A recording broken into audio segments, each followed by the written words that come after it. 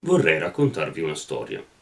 L'altro giorno incontro, dopo mesi, anzi quasi un anno, un mio amico durante il giorno di Pasqua che mi dice ma lo sai che stanno facendo una fiction sui Savoia? La RAI sta facendo una fiction sui Savoia?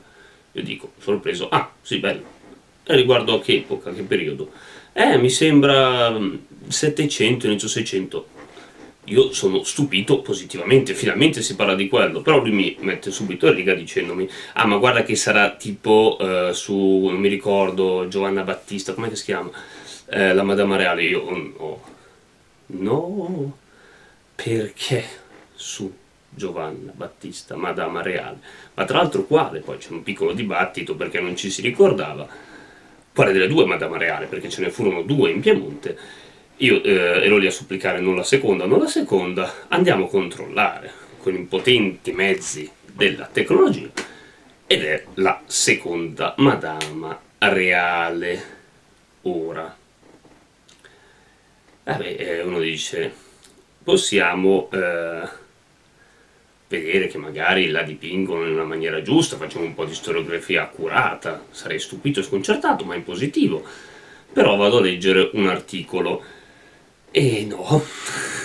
Allora, eh, ho fatto passare alcuni giorni, sono mezzo sbollito, perché è una di quelle cose questa che mi dà molto fastidio, nel senso, finalmente si va a trattare qualcosa di intelligente, si potrebbe farlo storicamente bene e qualcosa comunque di interessante, invece si manda a schifio. Dicevo, ho lasciato passare alcuni giorni, ho un po' sbollito la rabbia, mi sono andato intanto a uh, vedere se l'articolo che io uh, avevo letto per primo e che adesso leggerò e che mi eh, fece esplodere in una serie di improperi ehm, fosse l'unico che riportasse la notizia in quei termini o eh, la serie aveva davvero preso sembrava quella direzione. E poi intanto comunque mi sono andato a rivedere un paio delle mie fonti, per dire, magari mi ero sbagliato io, qualcosa non mi ricordavo, perché? Perché Giovanna Battista di Savoia-Nemours fu una delle più grandi teste di cazzo della sua epoca politicamente, fu letteralmente quella che mise l'allora Ducato di Savoia e il Piemonte, che non era ancora neppure regno, letteralmente a zerbino nei confronti della Francia. La cosa non iniziò da lei, ma tutti sono concordi nel dire che il suo periodo è quello in cui di più in assoluto il Piemonte fu servo e schiavo del regno di Francia, letteralmente del tutto. Fu un completa idiota dal punto di vista politico, una che badava soltanto alle feste, spese una fortuna, lasciò uno stato schiavo pieno di debiti e mezzo disarmato, nonostante le tentative di riforma del marito.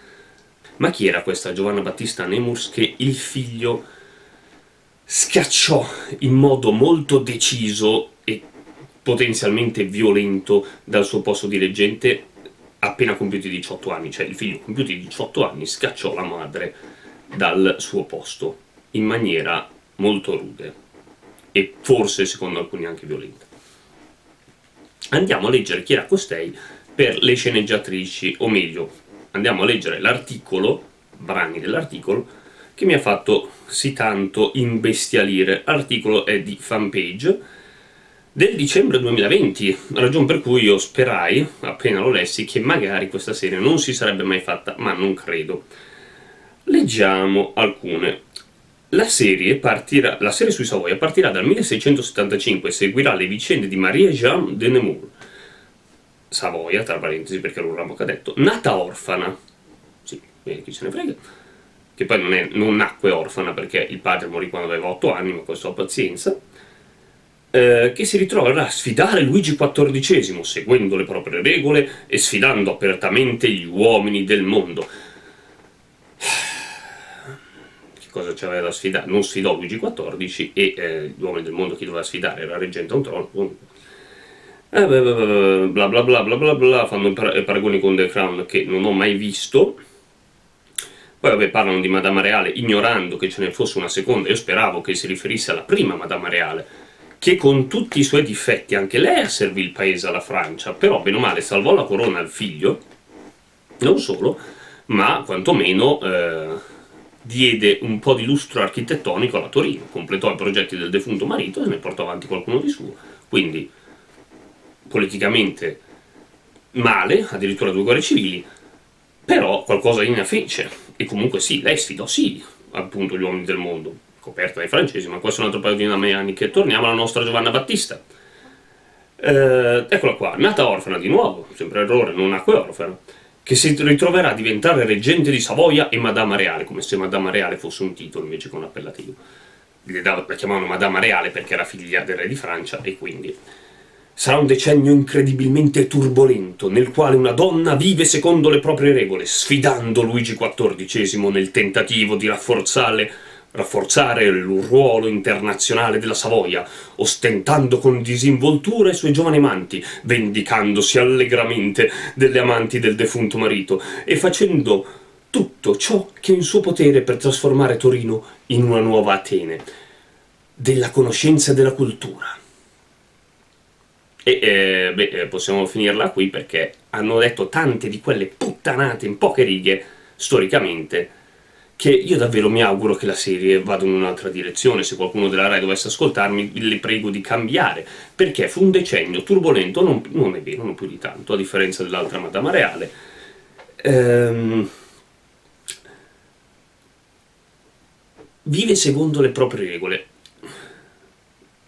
sfidando Luigi XIV, vive, secondo le proprie regole, grazie, è la reggente di uno Stato, quindi si può fare quello che vuole, vuole più, o, più o meno, quasi, eh Sfidando Luigi XIV, non lo sfidò per niente, fu letteralmente, come abbiamo già detto, lo zerbino più totale della Francia il Piemonte in quella situazione. La seconda Madama Reale, Giovanna Battista di Savoia-Nemours, fu lo zerbino del Re Sole, ma letteralmente faceva quello che voleva, e dopo lo vedremo, il Re Sole faceva quello che voleva, senza neanche bisogno di chiedere, il paradosso è letteralmente questo, non chiedeva neppure. Ostentando con disinvoltura i giovani amanti, ostentando i giovani amanti, cioè, che poi anche qui seguendo le proprie regole, io ho gran paura che questa fiction sia di nuovo una roba, in una solita battaglia di genere, insomma le donne che devono fare vedere che anche loro devono dettare, eh, hanno dettato leggi o hanno comandato, eccetera, cosa che chiunque studia la storia dovrebbe sapere. Altra cosa che chi studia la storia dovrebbe sapere, secondo le proprie regole, ostentando giovani amanti, perché all'epoca non si faceva, la gente deve capire che le donne scopavano e hanno sempre scopato nel Medioevo e nell'età moderna potenzialmente più di oggi. Come oggi, non esageriamo. Era una cosa normale avere gli amanti e averne tanti. Magari in un ambito di una regina che al marito mica tanto, almeno nell'età fertile, ma in una regina reggente di sicuro, ma anche le altre dame di corte scopavano le sue regole. Ma quali sue regole? Le regole della società dell'epoca, tranquille. Le donne scopavano, gli uomini, gli uomini scopavano come sempre, si divertivano, eccetera. Queste erano le regole. Forse l'unica regola di eh, Giovanna Battista era un po' il divertimento, nel frattempo la prendeva in quel posto da un sacco. Per di più, Giovanna Battista, a differenza della prima Madama Reale, secondo diversi storici, storici era succube nel, eh, nei rapporti amorosi. Succube nel senso che mentre gli altri... Ehm, la prima Madama Reale intratteneva rapporti con diversi uomini, ma poi finiva lì la cosa, la seconda Madama Reale spendeva soldi per loro, dilapidò il bilancio dello Stato anche per questi. Questi uomini, questi giovani amanti che lei ostentava, la sfruttavano. Questa ci ha buttato via, non i milioni, sì, in pratica i milioni, quelli che oggi sarebbero milioni, annichilendo il bilancio dello Stato per per il divertimento, le sue regole, il divertimento, via i soldi. Ma tanti. Era anche succube, i suoi giovani amanti la sfruttavano. Fine che poi appunto tutti scopavano tutto qua. Io ho paura che le sceneggiatrici vogliono dipingere questa cosa come è eh, appunto una, un inno, il solito inno modernista alle donne che prevedono i tempi che già appunto si davano la gioia del vivere, che c'è sempre stata, sempre, sempre ci sarà, ma diamine, ci sono state donne che si sono date la pazza gioia con la testa e soprattutto non buttando via uno Stato che gli era stato affidato. Perché appunto completamente schiava di Luigi XIV poi di qua, ecco questa frase mi ha fatto impazzire, vendicandosi allegramente delle amanti del defunto marito. Ora, chi ha scritto sta roba ha una tristezza immensa. Perché che cosa vuol dire vendicandosi delle amanti del defunto marito? Cioè, se vuol dire vendicandosi del marito che è morto, è la roba più triste del mondo, tanto è morto. Cioè, tu ti vendichi per, di una persona morta, che quindi non gliene frega niente, è sottoterra, ma oppure per chi crede è nell'altro mondo, ma fondamentalmente non gliene frega un cazzo di chi ti scopre in quel momento. E se eh, ti devi vendicare delle amanti, ma potevi farle sparire. C'era necessario? Eh, perché no, perché così immagino eh, debba vendicarsi nel senso, eh, siccome lui mi tradiva, allora io dimostro che anche le donne possono tradire, tra l'altro non tradire niente perché è già morto, e quindi tradire niente, quindi, bah, che, che, roba, che roba davvero triste, tristissima. Eh, vendicandosi dell'amante, poi questo qua, e facendo tutto ciò che il suo potere per trasformare Torino in una nuova Atene della conoscenza e della cultura. Una gran cavolata, tant'è che se suo marito aveva dato un minimo di rinnovamento, quando suo figlio salirà al trono, la situazione della Torino eh, accademica, universitaria, è talmente schifosa che si riduce a una decina di professori che non hanno i soldi in tasca e non hanno nessun prestigio tant'è che il figlio rinnova anche l'università. Cioè, Maria Giovanna è davvero stata una delle più fallimentari su tutti i punti di vista. Grazie a Dio è durata solo un decennio.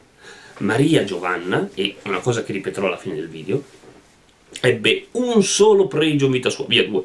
Uno appunto mise al mondo il figlio, due, dato che eh, sfruttò il figlio, cioè sfruttò il figlio, sfruttò la posizione che aveva sul figlio ed era così attaccata a questo potere che comunque non portava niente per il bene dello Stato, ma neanche per sé, che il suo unico altro pregio nella vita fu crescere, anzi non crescere, farsi odiare dal figlio, rendendolo una persona tremendamente furba, astuta, sotto certi punti di vista infame, sgamatissima, non per niente era chiamata, fu, sarà chiamato Vittorio Medio II la volpe savoiarda, e con due coglioni così. Vittorio Medeo sarà davvero quello che renderà lo Stato di Savoia indipendente e anzi farà il balzo alla corona, nel senso che diventerà il primo re di Casa Savoia, ma la madre fu un totale, un totale, enorme fallimento politico, una testa di cazzo politica, la più grande testa di cazzo politica della sua epoca in Italia, sicuramente nel Piemonte. Attaccata al potere molto più che al figlio, a differenza almeno della suocera,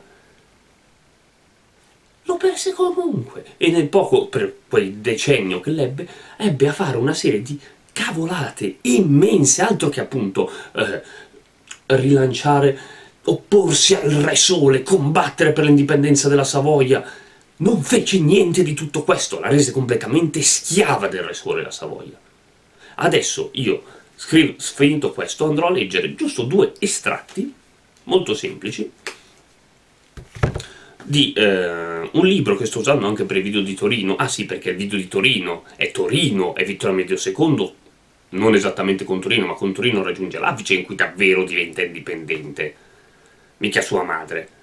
Che, che grazie a Dio l'unica cosa bella di sua eh, altra è che è riuscita a vedere il trionfo del figlio che di fatto l'ha tenuta dopo in carcere, se così si può dire.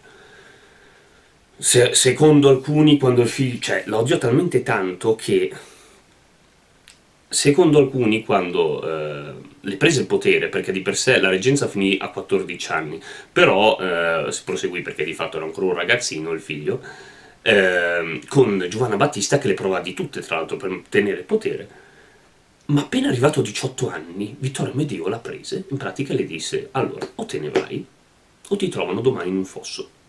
Non le disse questo, però molti ritengono che dietro al proclama in cui si assumeva tutti, tutto il potere, Vittorio Amedeo abbia fatto intravedere concretamente alla madre la morte.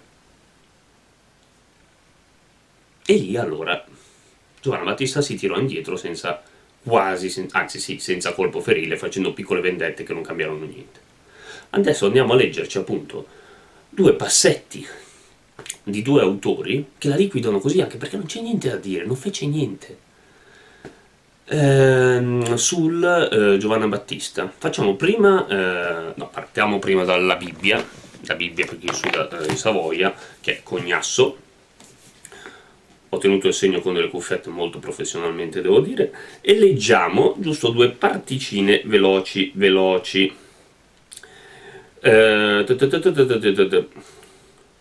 Principe Fangiulo di nuovo una reggente francese, sì perché era completamente francese, quindi... Ehm, cognasso la liquida in poche parole.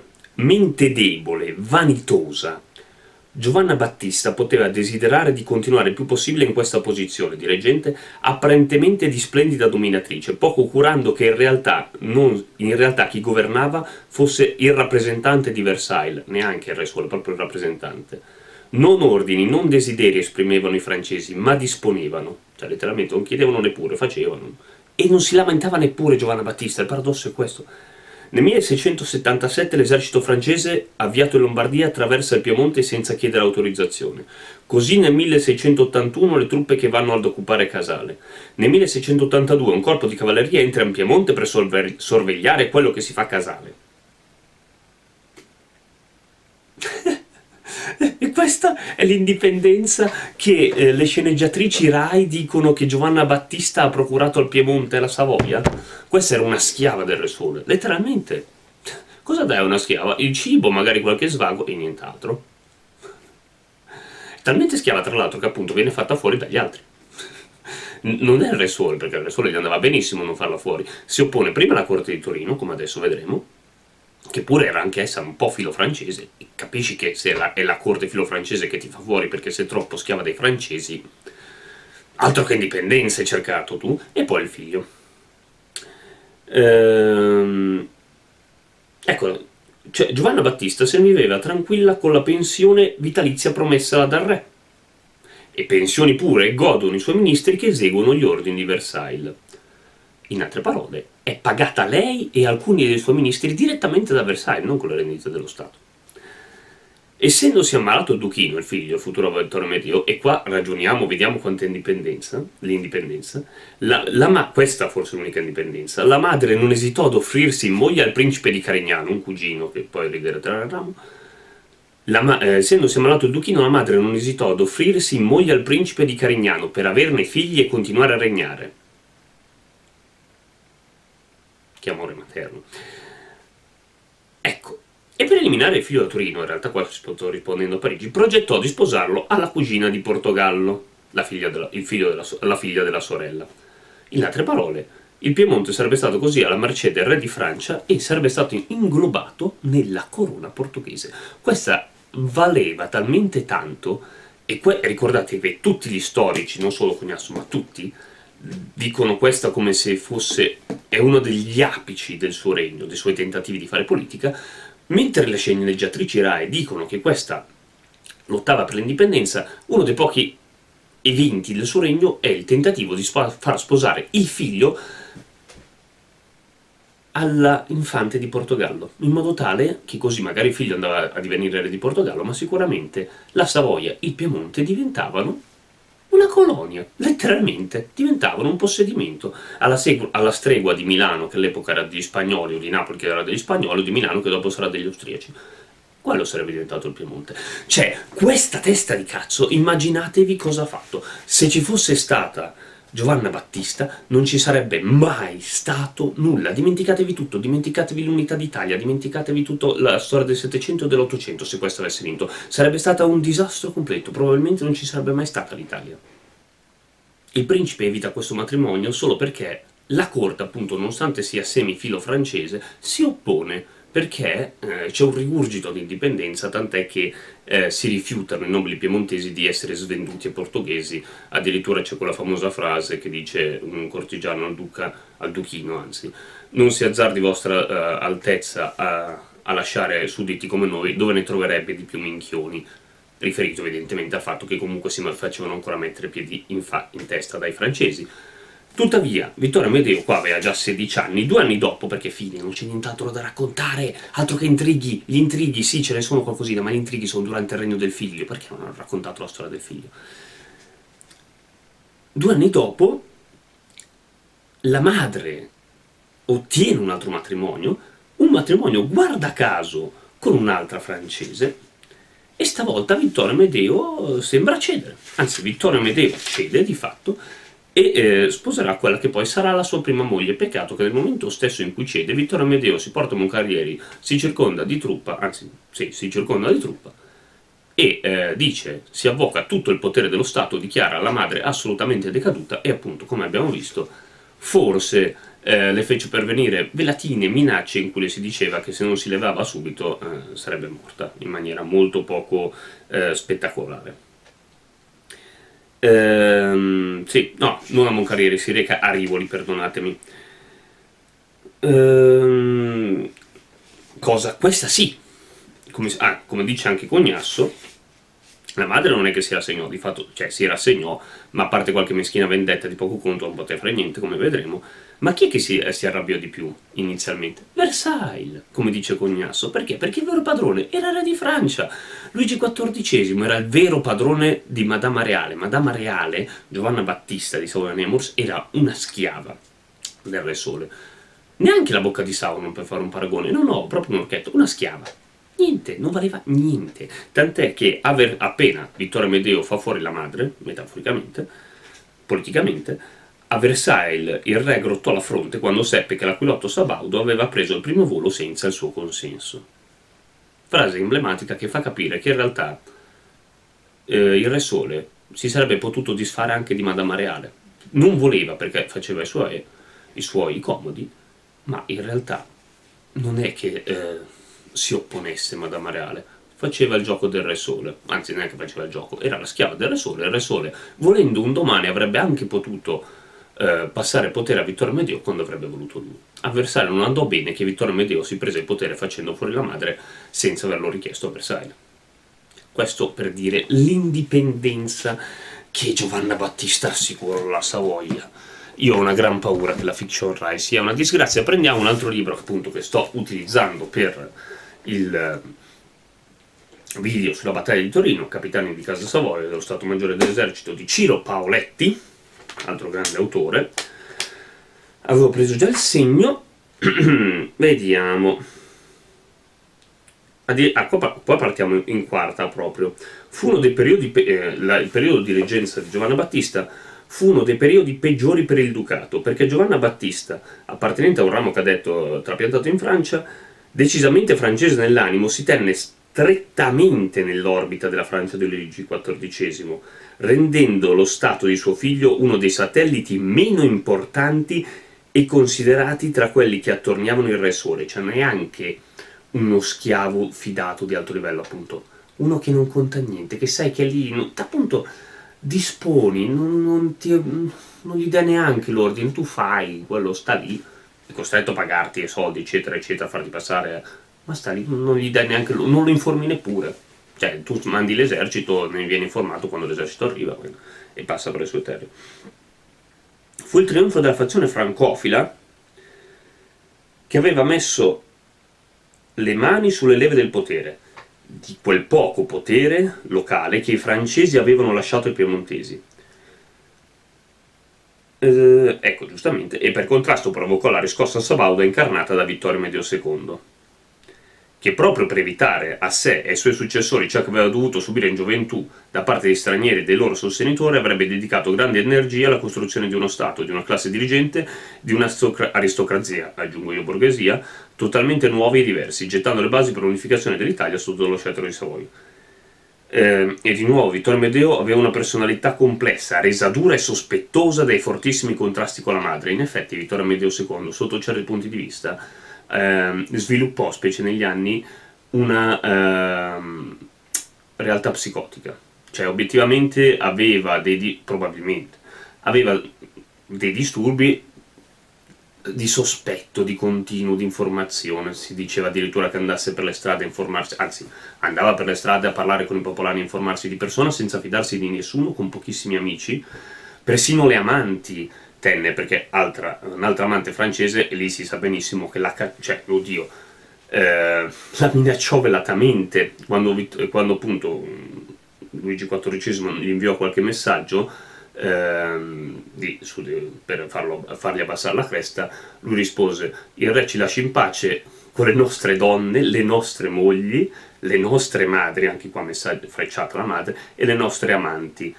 L'amante del momento che pare fosse in combutta con il Re Sole, che era presente appunto quando Vittorio Medeo parlava con, ambasciatore francese il giorno dopo fuggì perché evidentemente aveva capito che eh, su di lei si sapeva già abbastanza. Comunque,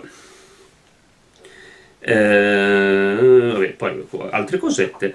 Ricordiamo sempre quanto fosse indipendente questa Madama Reale, la seconda, con questa simpatica, l'ultima piccola vendetta che si prese, fallendo, tra parentesi, eh, nei confronti del Re Sole, perché eh, è un servo, madonna, davvero, è un servo talmente basso, Madama Reale del Re Sole, che appunto già non lo contavano, non, non serviva a niente, ma era anche infima nell'animo, tant'è che quando eh, il figlio sta già iniziando a organizzarsi da qualche anno e a mettere le prime ehm, i primi capisaldi del suo potere, soprattutto sta davvero tentando, ci vogliono degli anni apposta proprio perché era completamente suddito quando c'era la madre, sta davvero tentando di rendersi indipendente dalla Francia. Cosa fa Luigi XIV? Luigi XIV chiede 3.000 uomini al Piemonte. Ehm però eh, Vittorio Amedeo II, poiché Luigi XIV gli aveva poi evitato di ricorrere a nuovi arruolamenti, rendetevi conto di, appunto, questo in epoca di Madama Reale, rendetevi conto quanto era indipendente, imponendogli pure di limitare gli effettivi dell'esercito ducale a non più di 2000 uomini.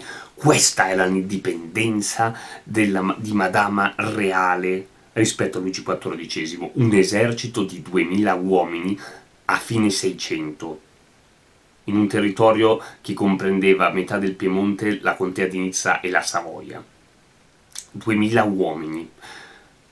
350 anni prima, per una spedizione in soccorso dei veneziani, un Savoia era entrato in guerra, era sceso, era andato a Milano con il triplo degli uomini.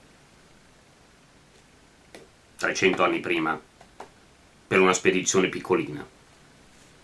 2000 uomini a fine 600. Rendetevi conto che cosa vogliono dire 2000 uomini, no? Questa è l'indipendenza. Comunque, gli aveva imposto appunto 2000 uomini di effettivi massimo. Vittorio Amedeo li aveva richiamati perché appunto diceva che aveva bisogno di uomini. Ma invece Luigi XIV tenta un raggiro e offre i suoi uomini invece degli uomini di Vittorio Amedeo, ma questo non ci interessa. Quello che ci interessa appunto, ma in realtà manteneva debole e imponeva un esercito di occupazione, però capite che Vittorio Medeo già sta tentando di svincolarsi, tant'è che dopo in realtà questa cosa non va a buon fine.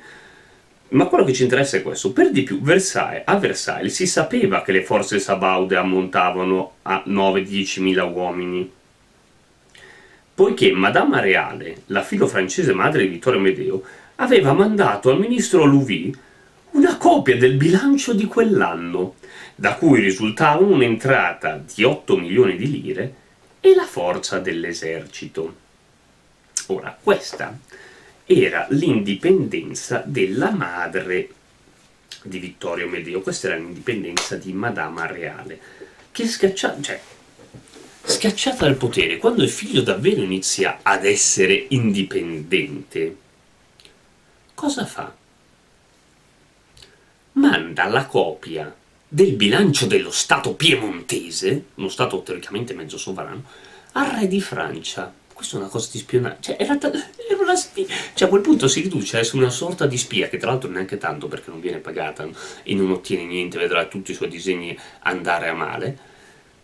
Cioè, manda una copia del bilancio piemontese sapendo che lo Stato, perché per colpa sua lo Stato piemontese non potrebbe avere più di 2000 soldati, gli dice che ehm, gli manda uh, dei documenti in cui si dice che l'esercito piemontese in tempo di pace invece è 5 volte più grande avendo 10.000 uomini. Questa è l'indipendenza di Madama Reale che le sceneggiatrici della RAI e chi ha scritto l'articolo di fanpage dice che rese la Savoia indipendente. Questa, grazie a Dio, fu messa da parte dal figlio che la trattò male che diventò forse mezzo psicopatico ma un, un genio, un fottuto genio della politica e che, guarda un po' te, diventò davvero indipendente e in grado di fare a, far fare a Savoia il grande balzo. Fu Vittorio Medeo II a essere indipendente. La madre fu una schiava di poco conto, poco nullo conto, come abbiamo visto, dei francesi, altro che indipendenza, sfoggiava nobili amanti, era schiava dei suoi amanti, lottò per l'indipendenza, sfidò Luigi XIV, non sfidò mai Luigi XIV, ne fu la serva più fedele, più trattata, ma neanche più fedele. Eh, ehm, un cane ottiene più rispetto dal suo padrone. Il, non, il, eh, al cane dici cosa deve fare, al, eh, lì invece lo faceva cadere non poteva dire niente. Or, ah sì, organizzò delle feste, gli intrighi probabilmente sono questi, organizzò delle feste si dice, per tentare, questo lo dice anche Montanelli che non è un grande storico, ma qua in effetti anche altri storici più elevati eh, dicono questa cosa, per tentare di sviare il figlio dalla politica, farlo correre dietro le gonnelle, cosa che Vittorio Medeo fece benissimo tra l'altro, anche troppo. Capito? Ma questi sono gli intrighi. Una che seguì le sue regole, perché scopava. Ma tutti scopavano! Tutti hanno sempre scopato, non, e tutti scoperanno sempre, se no il mondo non va avanti. Le donne, una donna indipendente. Grazie! È la figlia, cioè, è una reggente di uno Stato. Le sue regole, scopare. Tutti scopavano. Le sue regole non esistevano, si divertiva perché le uniche regole erano quelle del re di Francia, che vedeva un'utile serva, che si dava i piaceri della vita. Eh, proprio la schiuma della terra, quello che direbbe uno. Se non fosse che tutti scopavano, per, per, carità, poi lungi da me giudicare, ci mancherebbe, ognuno i suoi vizi, eh, ma tutti lo possono fare, però ci vuole cervello quando sei a capo di una nazione. Nazione, di uno Stato. Almeno, questo è per l'articolo di fanpage, leggiamo, avevo letto anche un articolo della stampa in cui, non mi ricordo se l'autrice o l'autore, quel che legge, almeno davano eh, dei ragguagli, per cui io spero che le sceneggiatrici abbiano fatto di meglio rispetto a quanto si legge da tutti gli articoli, in particolare fanpage, perché poi sono tutti articoli copia e incolla, eh, sia chiaro, ehm, in cui davano almeno qualche, qualche ragguaglio più vero del, della sua realtà. eh, abbellisce Torino, Guarini e Juvarra, sì, sono cose che fece il figlio soprattutto, però vabbè, pazienza. Eh, soprattutto Juvarra, ci fu chiamato dal figlio, ma pazienza, ma io voterò, ecco, questa frase della stampa è bellissima, ed è geniale perché in effetti dipinge la realtà storica. Le due sceneggiatrici hanno immaginato immaginato. Una donna forte, caparbia e superbia, con un cuore da re, capace di guidare il figlio nelle scelte politiche e dinastiche, una completa imbecille, che non aveva sicuramente una, eh, una, non era una donna forte, perché se sei sfruttata dai tuoi amanti non sei forte. Caparbia, eh, caparbia nel mantenere potere, ma neanche tanto in quello perché la, il figlio l'ha preso. Uh. Superba, su questo probabilmente non ci piove, con un cuore da re. che visto, scusate.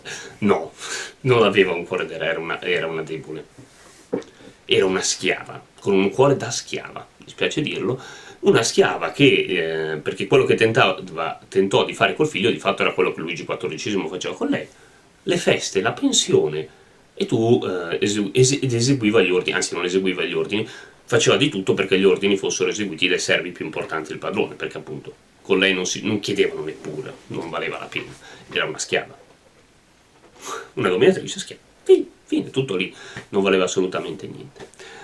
Ehm, quindi io ho paura che questa, almeno io mi auguro vivamente, magari riuscirò anche a seguirla, ma io spero vivamente che questo progetto non si faccia se è così, perché vuol dire che di nuovo si, mm, cioè, mi dà orrore perché sembra che si tenti di fare qualcosa di nuovo, di interessante, di storico, e si potrebbe fare, perché io ho pregato tantissimo, tra virgolette, che si facesse una fiction su quel periodo, che è così interessante, così misconosciuto e dimenticato dagli italiani, nonostante il fine 600, soprattutto il 700, è una chiave di volta essenziale, per me è la chiave di volta essenziale, e per questo, ma pregavo che lo si facesse su un periodo più serio, ma fallo sul regno di Vittorio Medeo.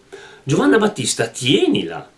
facci un sequel, cioè nel senso fa, falla presente all'inizio, ma il regno di Vittorio Medioca gli intrighi anche per come finisce. Lui sì che fa, fa davvero intrighi, eh, ma è lui davvero che si rende indipendente. Tra parentesi, ci tiri in mezzo anche magari una platea che è interessata, oltre alle bombate che non, non guastano mai, lo sappiamo, chi è che guasta nessuno, anche magari un po' di guerra, ma forse il budget non, non, ce lo permette perché siamo degli italiani, siamo poracci, quindi le poche glorie che abbiamo avuto per secoli ce le siamo dimenticate. Chi si ricorda di Torino, chi si ricorda di, di, altre, di tutti gli altri assedi di quella guerra di successione e delle sconfitte come Marsaglia e Orbassano, che sono sconfitte per modo di dire, anche perché, vabbè lasciamo stare, non facciamo un discorso tattico strategico al momento. Ma chi si ricorda di tutto il periodo successivo, di tutto quello che fa in Savoia. Cioè, in quel momento, cioè, Vittorio Medio è, quello che riforma totalmente il catasto, è quello che dà l'avvio alle grandi riforme catastali. Questo è l'argomento della mia tesi di cui dovrò parlare in un altro video. Che sono quelle che dicono per la prima volta e molto prima della Francia che tu non vali davanti al fisco, davanti allo Stato, davanti al giudice in base a quanto sei nato, ma in base a quello che hai non in base ai titoli nobiliari e alle esenzioni. Vittorio Medio è questo. E poi, vabbè, finisce con degli intrighi la sua vita, probabilmente. Forse anche eh, sfatto eh, da qualche malattia. Forse Vittorio Medio davvero era quella la storia da narrare. Perché mi narri questo e invece fai Invece no, dobbiamo parlare ancora di una donna, perché dobbiamo imitare The Crown, come, perché di donne potenti non ce ne sono state. Abbiamo preso Madama Reale perché? Perché io ho la brutta paura che abbia appunto l'idea, abbiamo questa idea delle donne che devono essere indipendenti perché scopano, che hanno sempre scopato, e questa era una, tra virgolette, una sfruttata da quella, dagli suoi amanti, con proprio la, niente, se potevano prendere Madama Reale altre. Donne di potere ce ne sono state, sì, Ce ne sono state in casa Savoia? Hai voglia! Cioè, perché dobbiamo sempre ridurre la storia solo a questo noi italiani? Non siamo in grado di alzare un po' il livello, ma soprattutto anche di dire la verità. Perché io devo andare qua e sentirmi dire un sacco di boiate? Quanti italiani, se la vedranno, si ricorderanno questa testa di cazzo della sua epoca, perché era una testa di cazzo serva dei più potenti, serva meschina e neanche considerata dei più potenti, come una grande che tentò l'indipendenza. Non tentò l'indipendenza, fu una schiava completa. Il figlio la prese e la cacciò in pratica. E lui si prese l'indipendenza. Perché dobbiamo pensare a questo? Perché era, perché una donna, aveva le sue regole, scopava. Tutti scopavano, tutti hanno sempre scopato. Questa non era... faceva solo quello però. Non era una donna forte né indipendente, era una schiava, una serva. Punto e stop. Perché dobbiamo andare a mentire sulla storia e raccontare delle palle? Io mi auguro davvero che non, non, la fiction non dica questo, da, vedremo se seguirla. Mi auguro vivamente che se è così non parta neppure perché dirà menzogne su menzogne. E poi io cosa posso dire? Io potrei vedere che appunto questo negare la storia soltanto perché è una donna è scopata. Tu, cioè tutti hanno sempre fatto così, ma altri con il potere, rendendosi indipendenti. Il mondo non si riduce a essere scopate. Puoi fare quello, ma nel frattempo tieni, hai del potere e lavori per il potere e ti fai un mazzo così per l'amministrazione, non organizzi solo festio, feste per fare in modo che anche tuo figlio diventi uno schiavo, se non che tuo figlio si ribella e ti mette eh, in un cantuccio. Unico merito di Madama Reale aver reso il figlio uno psicopatico aggressivo furbo come, eh, come pochi che davvero farà il balzo. Che poi appunto ci sono state donne che hanno preso il potere, appunto neanche, perché lei non prende neanche il potere, lei lo, se lo trova, ci sono state donne che hanno preso il potere comunque che una volta ottenutolo, presolo, avutolo, l'hanno saputo gestire meglio, bene, cento volte bene fare del bene agli altri, a se stesse o a avere del potere in generale. Sì, ce ne sono state, ce ne sono state in casa Soia, sì, ce ne sono state, l'altra Madama Reale neanche tanto, ma ce ne sono state altre, tante, ma anche altre reggenti, ma fin da subito dall'inizio della dinastia. Chi è che mi viene? Adelaide di Susa, subito, inizio della dinastia, siamo nel 1100, ai livelli di Matilde di Canossa, anzi fa da mediatrice tra Matilde di Canossa e il Papa l'imperatore, perché questo sì è vero potere, nonostante la Savoia contasse molto di meno all'epoca, e, e, ma perché non l'hanno fatta su Matilde di Canossa? Ah già, perché Matilda di Canossa non era una puttana. Detto questo, scusate il breve video sfogo, vado avanti con il video di Torino che dà molte più soddisfazioni, sicuramente molto meglio, e eh, ci vediamo alla prossima il prima possibile. e speriamo che la RAI, ma in generale che la storia sia fatta da gente che vuole narrare la verità, anche perché non ci vuole niente a farlo in questo modo. Poche cose fatte bene. Che Dio ce la mandi buona. Alla prossima su Zack Zack.